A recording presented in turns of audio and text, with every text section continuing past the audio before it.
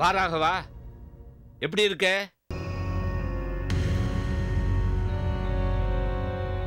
ஜானகியா யார் ஜானகி?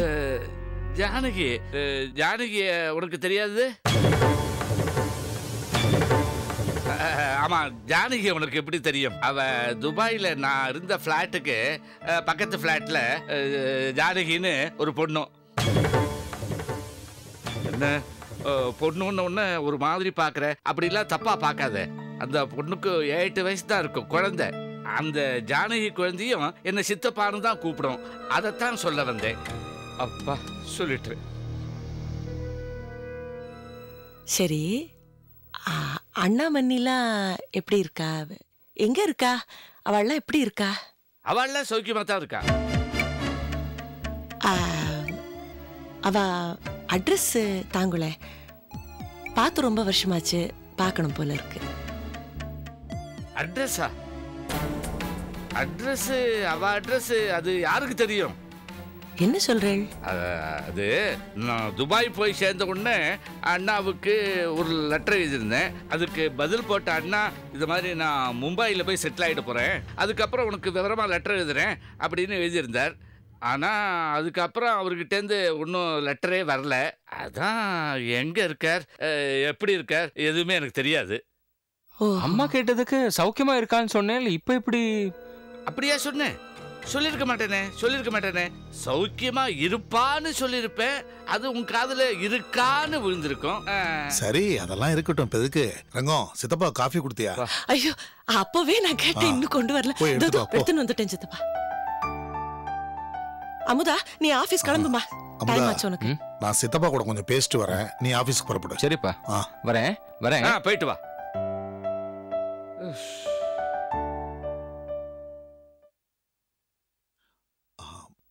சித்தப்பா ரங்கத்துக்கு தெரியாம நான் உங்ககிட்ட சில விஷயங்கள் பேசணும். அதை எங்கே பேச முடியாது. முதல்ல நீங்க இங்கிருந்து கிளம்புங்கோ. வேற எங்கேயா போய் பேசிக்கலாம். என்ன பேசணும்? சித்தப்பா நான் என்ன இந்தாங்கோ. தேங்க்ஸ்மா ஆமா காப்பியில சக்கரை போட்டியோ? போட்டிருக்கேனே. ஏன் கேக்குறேன்னா பாதி ஆத்துல காப்பி சாப்பிடும்போது என் வயசை பார்த்துட்டு எனக்கு சக்கரை வியாதி இருக்குன்னு அவளாவே தீர்மானம் பண்ணிட்டு சர்க்கரையே போடாம காப்பியை கொடுத்துட்றா. அதான் கேட்டேன். பிரமாதமா இருக்கு.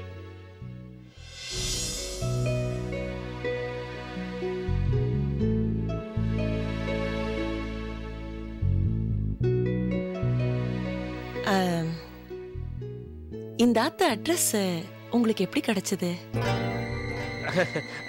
அது அது கிடைச்சது கிடைச்சது. அது எப்படி கிடைச்சதுன்னா அது ராகவன் தான் கொடுத்தான். இவரா? ஆ, இவர இவ- இவரை எங்க பார்த்தேள் கேக்குறாளே கேக்குறாளே பதில சொல்லு. அவ கேக்குற கேள்விக்கெல்லாம் நானே யோஜனை பண்ணி யோஜனை பண்ணி பதில சொல்றதுக்குள்ள என் மண்டை காஞ்சு போறது. அது வேற ஒண்ணும் இல்ல ரங்கம். என் ஃப்ரெண்டை ஏர்போர்ட்ல டிராப் பண்ணதுக்கு போயிருந்தேன். அங்கதான் சித்தப்பா பார்த்தேன். ஆமா. அப்பதான் அட்ரஸ் கொடுத்தேன். ஆமா. அப்ப நான் கிளம்புறேன். ஏன்னா ரொம்ப நேரம் நான் இங்க இருந்தேன்னா நான் வந்த வேலையெல்லாம் கெட்டு போயிடும். சித்தப்பா? ஒரு பத்து நிமிஷத்துல உங்களுக்கு பிடிச்ச சுட்டாப்பெல்லாம் பெத்த குழம்பு தயார் பண்ணிடுவேன். கொஞ்சம் இருங்க சித்தப்பா. இல்லம்மா அதுக்கு நான் இன்னொரு நாளைக்கு வரேன். இல்ல. ரங்கம் பரவாயில்லம்மா. இத்தனை வருஷம் கழிச்சு கூட எனக்கு என்ன பிடிக்கும்னு ஞாபகம் வச்சுட்டு இருக்கியே யூ ஆர் கிரேட் எதையும் மறக்கல சித்தப்பா. அதுதான் கஷ்டமே. சரி நான் வரட்டுமா? நீங்க நீங்க எங்க தங்கியிருக்கீள் அண்ணா அண்ணா நகர்ல ஒரு ஹோட்டல்ல தங்கியிருக்கேன். அது இல்ல சித்தப்பா. நம்ம ஆத்துல வச்சுக்க முடியாத பாவிகளா போயிட்டோம் நாங்க. இல்லம்மா இல்ல. நான் முடிக்க வேண்டிய வேலைகள் நிறைய இருக்கு. அதுக்கெல்லாம் அங்க தங்கி இருந்தாதான் எனக்கு சௌரியமா இருக்கும். அப்ப நான் வரட்டுமா? ஆ, சித்தப்பா? நான் ஆபீஸ் தான் போயிட்டு இருக்கேன். போற வழியில உங்களை டிராப் பண்ணிடுறேன். வரேம்மா. ரங்கம் நான் வரட்டுமா? ஆ ம்.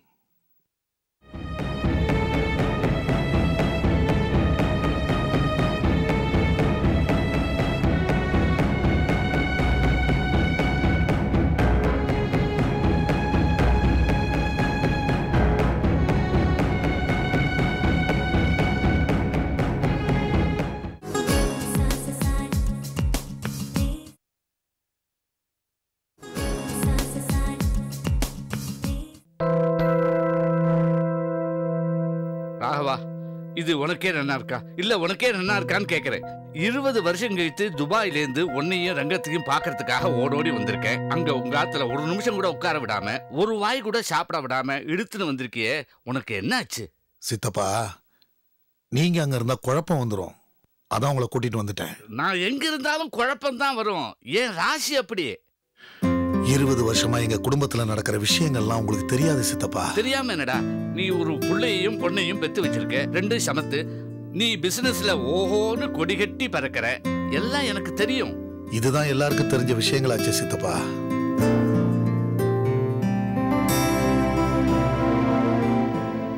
ஆனா மத்தவளுக்கு தெரியாத சில ரகசியங்கள்லாம் இருக்கு. ஓஹோஹோ அத மாதிரி விவகாரங்களா? பணம் வந்தா இதெல்லாம் வரும்னு சொல்லுவா. அது கரெக்டா தான் இருக்கு. சித்தப்பா ப்ளீஸ் கொஞ்சம் சீரியஸா இருங்கோ. எனக்கு அது கொஞ்சம் கஷ்டம்தான். இருந்தாலும் ட்ரை பண்றேன். சொல்லு. எங்கிட்ட என்னடா தயக்கம்?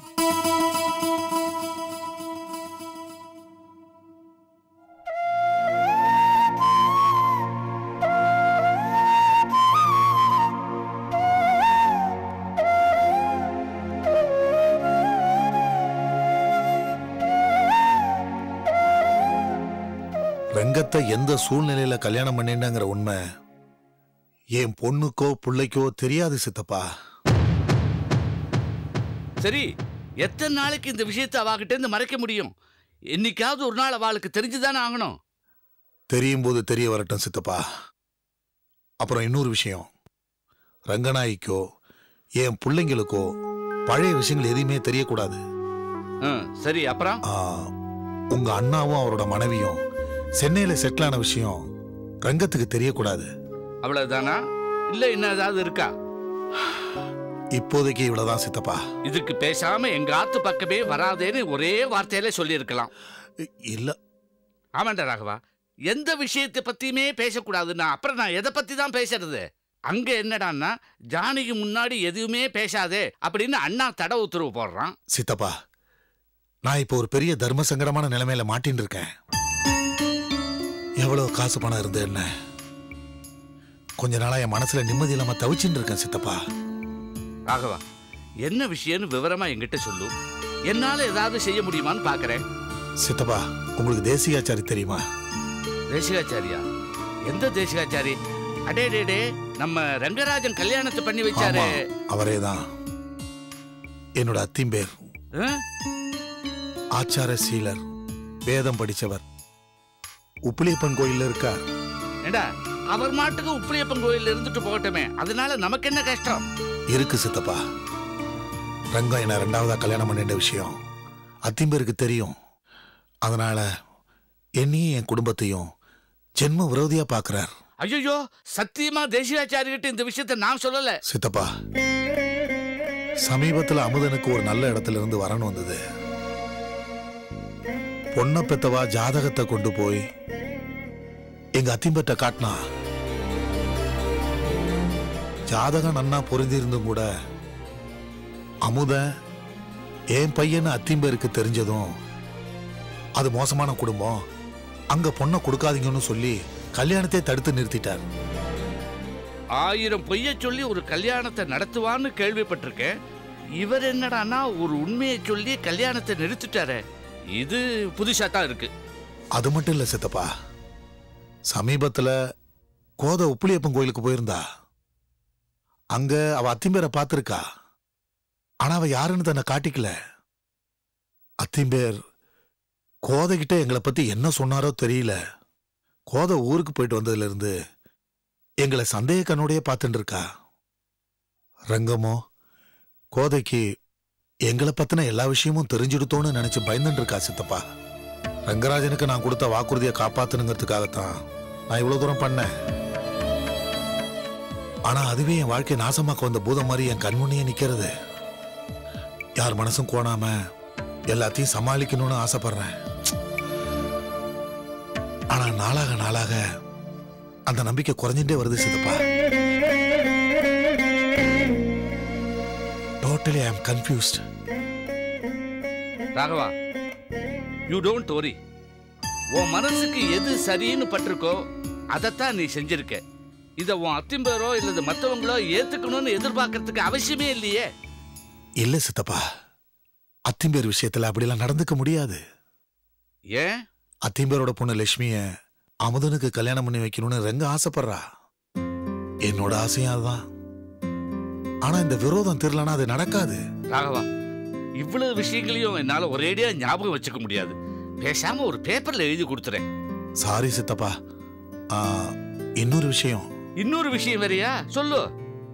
சித்தப்பா ரங்கநாயகி ரங்கராஜன் சம்பந்தப்பட்ட சொந்தக்காரங்களை யாராவது பார்த்தா உடனே அப்செட் ஆயிடுறா.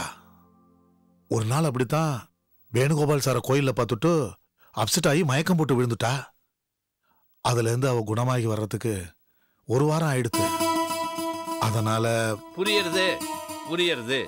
இனிமே எங்க ஆத்து பக்கம் வராதேன்னு சுத்தி வளைச்சு சொல்றேன். அப்படித்தானே? இல்ல சித்தப்பா நான் அப்படி சொல்ல வரல. இல்லப்பா. என்னால உங்க குடும்பத்துல எந்த குழப்பமும் வராது. அதுக்கு நான் வழி கண்டுபிடிச்சிட்டேன். என்ன சித்தப்பா? பேசாம அடுத்த பிளைட்டை பிடிச்சு நான் துபாய்க்கே திரும்பி போயிடுறேன். சித்தப்பா.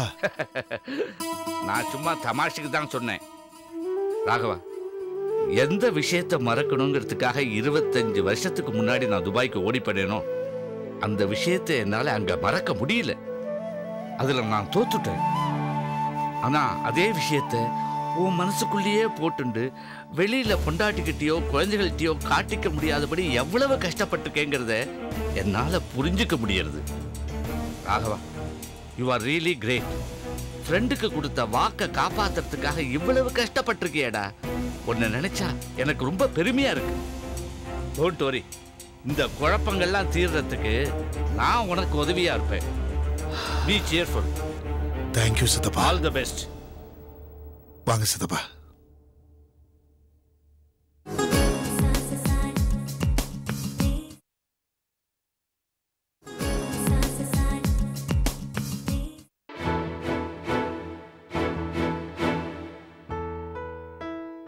அனந்து இங்க வா உட்காரு. ஆமா எவ்வளவு சொல்லியும் கேட்காம அங்க போயிட்டு வந்தியே? போய் என்ன குழப்பத்தை உண்டாக்கிட்டு வந்திருக்க? குழப்பம் வந்தது என்னவோ உண்மைதான். ஆ, ஆனா அத சாதுரியமா சாமர்த்தியமா பேசி சமாளிச்சுட்டேன். ஆ? ம். ரங்கநாயகி பாத்தியாளா எப்படி இருக்கா? நன்னா இருக்கா. ரொம்ப நன்னா இருக்கா. என்னை பார்த்த உடனே முதல்ல கொஞ்சம் அதிர்ச்சி அடைஞ்சாலும் அப்புறம் ரொம்ப சந்தோஷப்பட்டா. ஆ ராகவனை பார்த்தேன் அவ புள்ள அமுதனை பார்த்தேன் ஆனா அவ பொண்ணு கோதையத்தான் பார்க்க முடியல. ரங்கம் எங்களை பத்தி விசாரிச்சாளா? கேட்காம இருப்பாளா? துருவி துருவி கேட்டாளே நானும் உங்களை பத்தின எல்லா உண்மையும் ரங்கநாயகி கிட்ட சொல்லிடணும்னு குடிய கெடுத்திய அடப்பாவி எல்லாத்தையும் சொல்லிட்டியா? சொல்லணும்னு நுனி நாக்கு வரைக்கும் வந்துடுத்து ஆ. அப்பதான் நீ எனக்கு கொடுத்த வார்னிங் ஞாபகத்துக்கு வந்தது. டக்குன்னு பேச்ச மாத்தி உங்களை பத்தி எதுவுமே தெரியாதுன்னு சொல்லிட்டேன். அப்பா.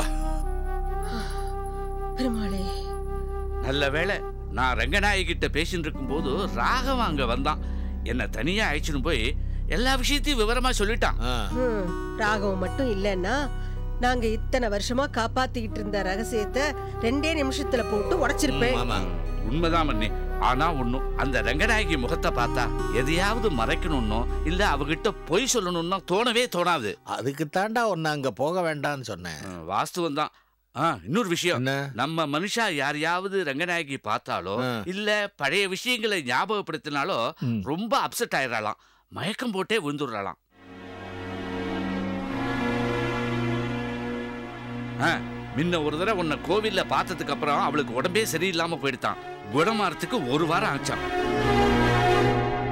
ஆனா உங்களை பார்த்து அவ அதிர்ச்சி அடைஞ்ச மாதிரி தெரியலையே. சாதாரணமா பேசின மாதிரின்னா சொல்றேன் அதான் மண்ணி எனக்கே ஆச்சரியமா இருக்கு. சாதாரணமா என்ன தெரியாதவா கூட என்ன பார்த்தா ரொம்ப அப்செட் ஆயிடுவா. ஆனா இவ மாத்திரம் ஏன் இப்படி? டேய் இந்த ஆராய்ச்சியில எதுக்குடா இப்போ? இந்த பாரு பகவான் முன்னிட்டுல இந்த தடவை ஒண்ணும் நடக்கல. ஆனா அடுத்த தடவை எப்படி இருக்குமோ தெரியாது. அதனால நீ இனிமே அங்க போக வேண்டாம். ம். இல்லண்ணா. இனிமேதான் அடிக்கடி அங்க போகணும்னு எனக்கு தோன்றது. ஏன்? இவர் தான் எதுக்கு எடுத்தாலும் நேருக்கு மாறா செய்யறவர்னு உங்களுக்கு தெரியுமோன்னோ அங்க நீ போகணும்னு சொல்லியிருந்தா நான் போக மாட்டேன்னு சொல்லியிருப்பார் ஆனா மண்ணி ஒண்ணு மாத்திரம் நிச்சயம். ரங்கநாயகிட்டேந்து குழந்தையை பிரிச்சு அவளுக்கு இன்னொரு கல்யாணத்தை பண்ணி வச்சது பெரிய தப்புன்னு இத்தனை நாள் நினைச்சிட்டு இருந்தேன். அந்த எண்ணத்தை மாத்தி விட்டேன். ராகவன் ரங்கநாயகியை கண்ணுக்குள்ள வச்சு காப்பாத்துறான் ரங்கநாயகி இந்த வாழ்க்கை நீடிக்கணும்னா நீ இனிமே அவளை பார்க்காத. அதுதான் நீ அவளுக்கு செய்யற பெரிய உபகாரம்.